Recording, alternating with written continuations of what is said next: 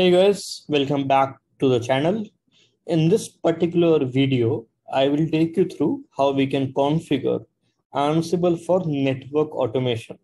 So we work with a lot of network devices, uh, Cisco, VYOS, Juniper. But if you wanted to automate configuring those devices using Ansible, then how could you do that? So that's what I'm going to show you today. We have two devices in this tutorial. So we have a Cisco device and then we have a VYOS device and we'll go through how we can configure them. Ansible is already installed on top of a RHEL 8 machine that I have here. And we are using the Ansible version 2.9 with Python 3.6 being used in the background as we know that Ansible uses Python. We'll create a directory here, call it, let's say network and navigate to the directory. We'll open the directory up using VS Code since that will make it, uh, sorry, since that will make it easier for us to work with the directory. So we'll just open it up. Uh, home sysadmin network. Here is the directory. Switch back to the sysadmin user. And in this directory, we'll first create a file, call it inventory. And this is going to be the inventory file that we work with. In this inventory file, we'll provide the names of our machines. So we have one machine that has Cisco one.networknuts.io. Then we have VYOS one.networknuts.io. These are already configured in my DNS. The Cisco machine will be a part of a group known as IOS. And the VYOS machine will be part of a group known as VYOS. Again, I'm assuming that you know what is a inventory file in Ansible and what are groups. We'll create another parent group known as network and network will have some children inside it, which are IOS and VYOS and save it. We'll just check the host file Yes, Cisco 01 at networknuts.io, VYOS 1 at networknuts.io. Yeah, so looks good. The next part is understanding how Ansible will work here. So by default, Ansible is created for Linux automation, but you could use it for Windows automation as well as network automation, but you will have to make certain changes. So the first thing that we'll have to do is we'll copy the original ansible.cfg to this directory. And we'll open the CFG file. And in the CFG file, we'll make some changes. So the default inventory path, we will change to the inventory that we just created. So dot slash inventory, which means a file known as inventory in the current working directory.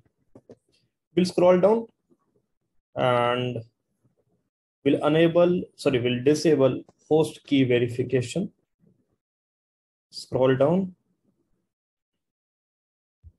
Let's see let's see let's see.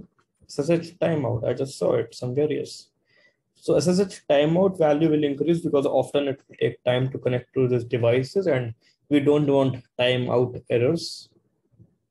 Keep on scrolling down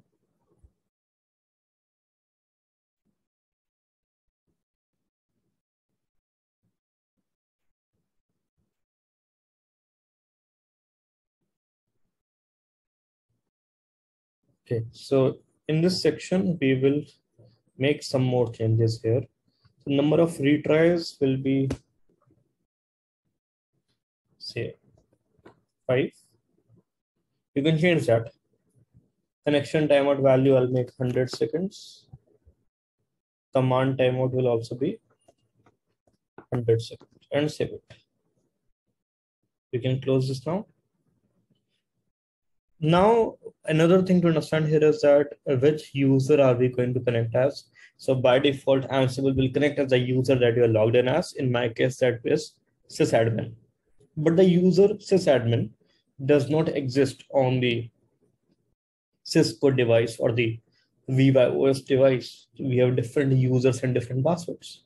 So we'll create a directory here, call it group underscore vars. And in group vars, we'll create certain files here. So we'll create a file, called it ios.yml and this file will contain variables for the ios group. We'll create a second file as well, call it vyos.yml. This will contain variables of the vivaos group and a network.yml that will contain the variables of the network group.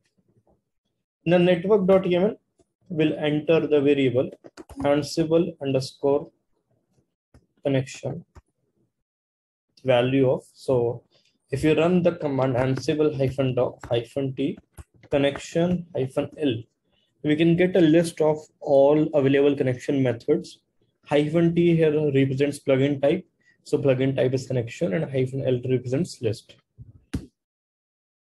and we have a connection method available known as network underscore CLI. And this is the connection method that we use to connect to network appliances. And that is what we require here as well.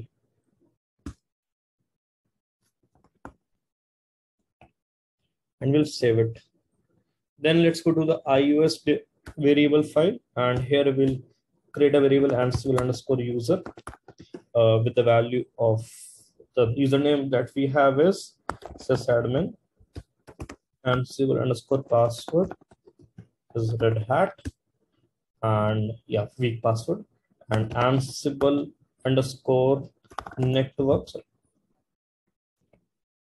ansible underscore network underscore os is ios. Then we'll go to the vyos device variable file and here we'll go. Ansible underscore user is vyos ansible underscore password is vyos as well. Again, a weak password. And enable ansible underscore network underscore os is vyos. So all vyos values here. So this is the structure that you will end up with. So you have your ansible.cfg configured, you have your inventory file configured, and you have your group variables applied. So we can do a test run. So I could do an Ansible all hyphen m ping to verify whether I'm able to connect to these devices or not using Ansible. And we have a success here. So we are successfully able to connect to the VyOS device as well as a Cisco device. However, there is one problem in the whole scenario, which is that your variable files, which is vyos.yml and ios.yml, they they contain passwords here uh, that's red hat and vyos and these are right now in plain text. And you don't want that you want these to be encrypted. So what changes will you have to do to achieve that? So we'll just close them here. And we'll encrypt them using ansible vault. So i'll run ansible vault encrypt. That's the file is ios.yml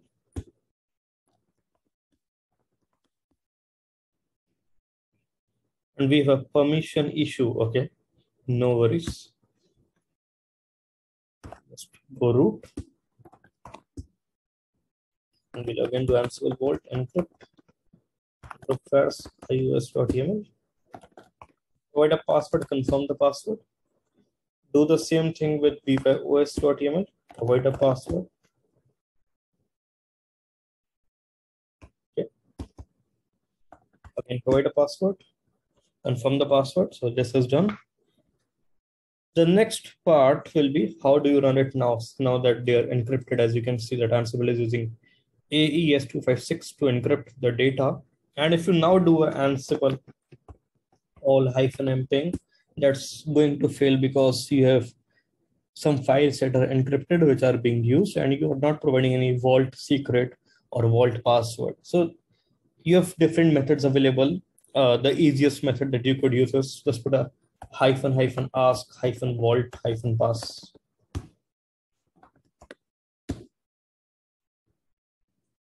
And that will do it for you. So it will prompt you for the password. You provide the correct password and the connection will be established. If you provide, sorry, if you provide a wrong password, then you will, you know, end up getting an error. So that's something to be careful about. You could also supply the password in a temporary file or perhaps into an environment variable as well. But then you'll have to read out the documentation of Ansible Vault that is not related to this, what we're trying to do right now.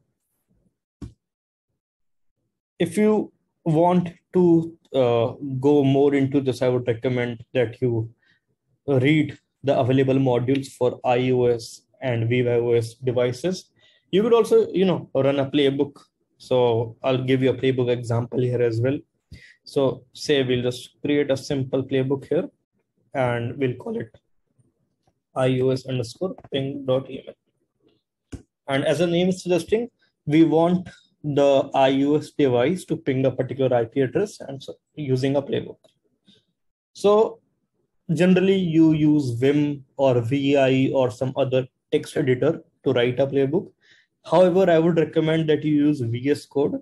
Uh, VS Code comes with a Ansible language server officially by Red Hat, which makes it very useful while writing playbooks.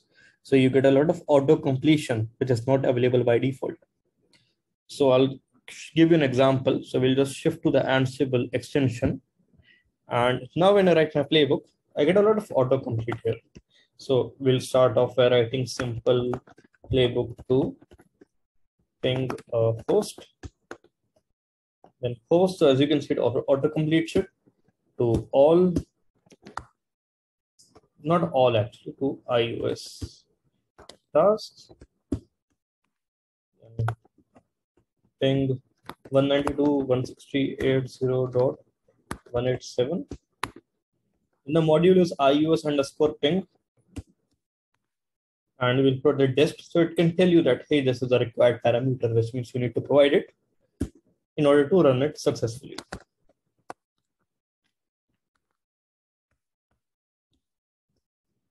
That's the wrong IP address we'll register the output into a variable called it iOS underscore response. Then we'll print out this response. So print iOS underscore response. We'll use a debug module, again a built-in Ansible module. And the variable that you're printing is iOS underscore response. Save it. Uh, so now that the configuration has been done and our playbook is ready, let us try to execute this playbook. So we'll run the command ansible hyphen playbook, playbook name, and then hyphen hyphen ask vault pass because again, we want Ansible to prompt us for the password before execution.